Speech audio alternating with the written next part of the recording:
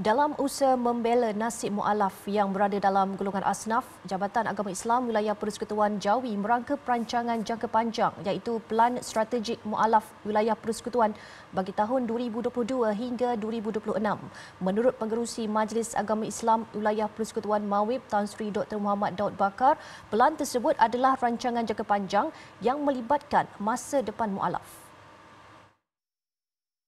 Plan strategik itu dia lebih uh, high level melihat kepada perancangan masa depan dari segi uh, pendidikan, kerjaya. Uh, mungkin kita akan melihat contohnya uh, setiap mualaf yang masuk agama Islam ini kita cuba cari kerja untuk mereka.